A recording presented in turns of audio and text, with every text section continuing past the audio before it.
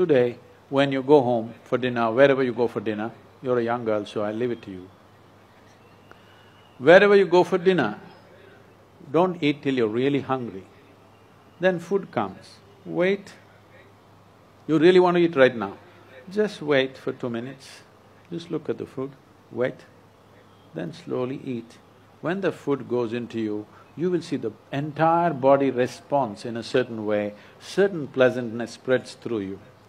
You keep paying attention to this. Right now, it's not that you're completely ignorant of this, but generally most people don't stay with this pleasantness for more than two to three seconds.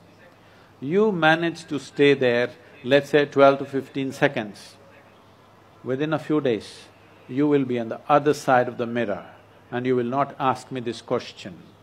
You will know what it means to live with the Divine. Right now, you're living on the wrong side of the mirror, seeing multiple images, a kaleidoscope happening, but you can never see yourself or the nature of your existence.